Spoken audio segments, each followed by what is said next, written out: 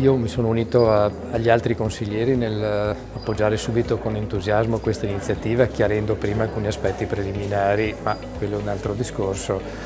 perché eh, crediamo che eh, il DVRI per potersi sviluppare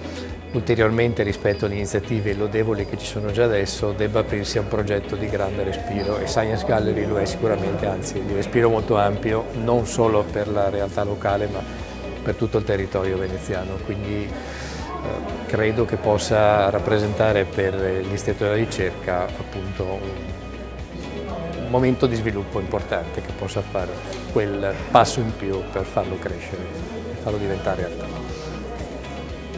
Noi rispetto a molte altre realtà del distretto veneziano della ricerca e innovazione siamo un istituto di ricerca proprio per riconoscimento del Ministero, quindi svolgiamo attività scientifica di ricerca.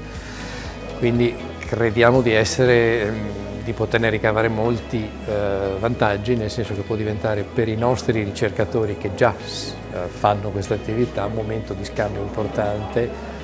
con eh, ricercatori di altre realtà europee. Già oggi eh, abbiamo collaborazioni strette con eh, università canadesi, inglesi, belghe Abbiamo ricercatori tutti giovani, quindi credo che eh, Science Gallery si, si, inserisca perfettamente in quello che è la nostra mission e la nostra attività di tutti i giorni.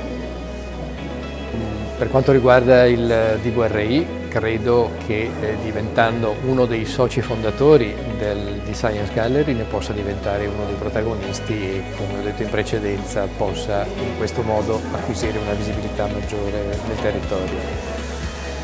E per quanto riguarda la mia struttura, eh, credo anche in questo caso che possa dare un contributo importante alle iniziative che faranno parte di Science Gallery e a nostra volta diventare uno dei